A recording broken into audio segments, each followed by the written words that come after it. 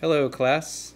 I'm going to show you some things to do on Zoom to see things like mute, unmute, the chat, to raise your hand.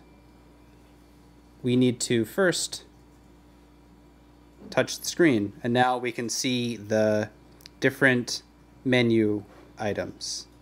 So I can mute and you see it's red now. So now I would be muted in the Zoom meeting. Unmute.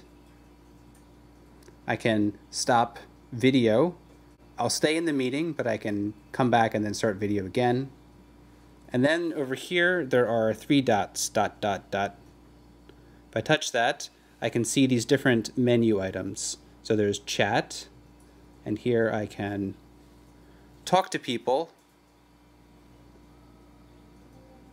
Hello, everyone. Okay, and now you see there's my message. To leave, I press close. What else?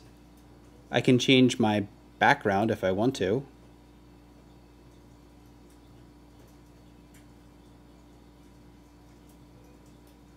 So this is a photo I have on my phone, so I can change it to this background.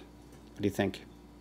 I can show if I like something with applause or thumbs up. Okay, and I can also raise my hand. If I go to more and I go up, you see here raise hand. Now I can see that Eric has raised his hand.